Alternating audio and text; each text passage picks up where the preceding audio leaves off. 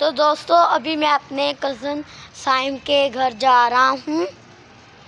जो मेरे घर भी आया था, उसके घर चलते हैं। जिसके साथ मैंने ने मैच लगाया था टी टू का। तो चलते हैं अभी आगे।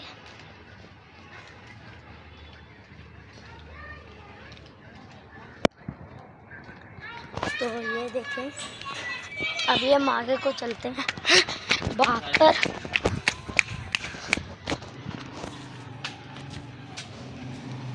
अभी हम उसके घर जा रहे हैं।